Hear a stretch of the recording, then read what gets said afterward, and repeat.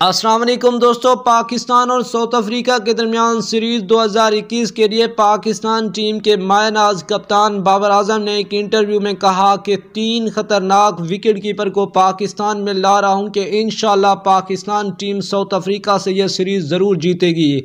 दोस्तों, बाबर आज़म क्या कहना था कि मोहम्मद रिजवान की नाकस कारकर्दगी जो कि न्यूजीलैंड के खिलाफ दूसरे टेस्ट मैच में इन्होंने बहुत ज़्यादा कैचेज़ ड्रॉप किए हैं। आज आप दोस्तों को बताते हैं कि कौन से तीन खतरनाक खिलाड़ियों की कौन से तीन खतरनाक विकेट कीपर की पाकिस्तान टीम में वापसी हो रही है? और बाबर आज़म ने किन खिलाड़ियों के नाम मेंशन कर दिया? आपको मुकम्मल तफसील से आगाह करते हैं। इससे पहले अगर आपने अभी तक हमारी वीडियो को लाइक नहीं किया तो वीडियो को लाइक कर दें।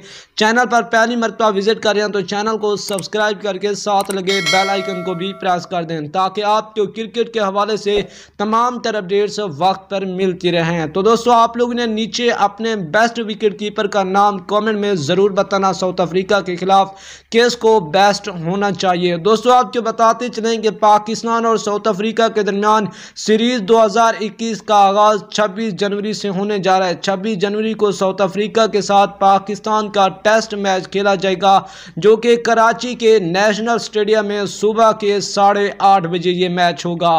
तो दोस्तों, आज आप दोस्तों को बताते चलें कि बाबर आज़म ने एक इंटरव्यू में आज कहा कि वो तीन खतरनाक विकेट कीपर पाकिस्तान टीम में ला रहे हैं, क्योंकि एक सहाफ़ी के सवाल पर बाबर आज़म से पूछा गया कि न्यूजीलैंड के खिलाफ मोहम्मद रिजवान कप्तान भी रहे और विकेट कीपर भी, जिन्होंने नाकिस कारकर्दगी का मुजाहरा किया तो आप किन विकेट कीपर को पाकिस्तान टीम में ला रहे हैं? तो बाबर आज़म क्या कहना था कि कोशिश करेंगे कि सरफराज अहमद को पाकिस्तान टीम का, क्योंकि तजर्बाकार विकेट कीपर है, उसको पाकिस्तान टीम में लाने की भरपूर कोशिश करूँगा, क्योंकि वो पाकिस्तान टीम के स्क्वाड में तो होते हैं, मगर उनको वहाँ पर खिलाया नहीं जाता। तो दोस्तों, उनका कहना था, दूसरे नंबर पर टी ट्वेंटी के लिए आज़म खान के ज़्यादा चांसेस है कि उसको पाकिस्तान टीम के टी ट्वेंटी स्क्वाड में लेकर आऊँ।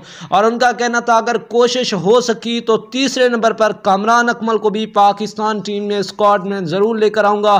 तो दोस्तों, आप लोगों ने नीचे कमरान अकमल के लिए एक छोटा सा जुमला ज़रूर कमेंट करना, क्या कमरान अकमल को पाकिस्तान के साउथ अफ्रीका के खिलाफ टी ट्वेंटी स्क्वाड में शामिल होना चाहिए या नहीं? नेक्स्ट वीडियो तक हमें दीजिएगा इजाज़त अल्लाह ने के मान